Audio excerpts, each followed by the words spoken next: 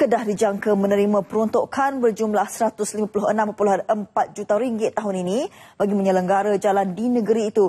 Menteri Besar Datuk Seri Mukris Tun Mahathir memaklumkan jumlah itu menyamai peruntukan yang dibelanjakan di bawah wang amanah penyelenggaraan jalan negeri tahun lalu. Peruntukan itu juga sekaligus dapat membantu kontraktor mendapatkan projek.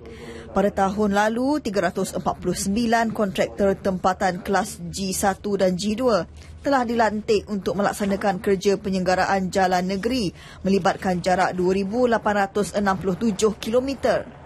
Bagi fasa pertama tahun ini, kerajaan negeri melalui Jabatan Kerja Raya telah mengenal pasti 260 kerja penyelenggaraan jalan bernilai 16.8 juta ringgit untuk diagihkan kepada kontraktor grade G1 di seluruh Kedah. Pemilihan kontraktor dibuat berdasarkan sistem undi berkenaan yang diadakan secara serentak.